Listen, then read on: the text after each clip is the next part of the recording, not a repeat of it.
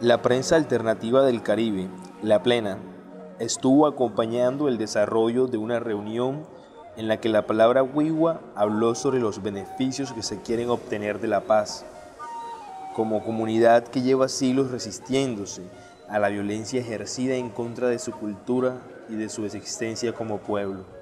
Le estamos apostando a nuestro proceso organizativo eh, donde estamos integrados las autoridades, mamos, comisarios, eh, líderes, docentes, con un propósito de sacar adelante nuestro proceso como indígena.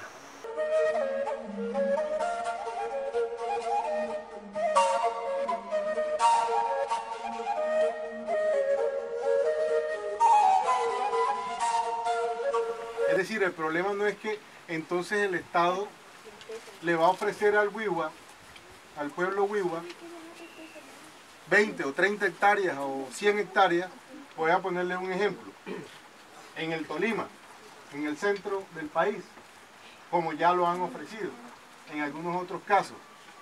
Y aquí es donde el concepto no es el concepto de tierra, sino de territorio. Es decir, la sierra para el Wiwa es su territorio. el tema no es solamente de esta tierra, sino de lo que este territorio produce para ustedes. En esta oportunidad, miembros de Marcha Patriótica estuvieron desarrollando un trabajo de acompañamiento. De acuerdo a la comunidad, este se viene realizando continuamente a través de la visita de sus delegados. Temas como una posible firma de los acuerdos de paz en La Habana, la tenencia del territorio, asunto de víctima, cultivos ilícitos, organización y restitución de tierras fueron abordados durante toda la jornada. Mirando también las necesidades que tenemos, eh, que son muchas, a la cual nosotros padecemos, eh, como el, territorio, eh, la educación, salud, vivienda.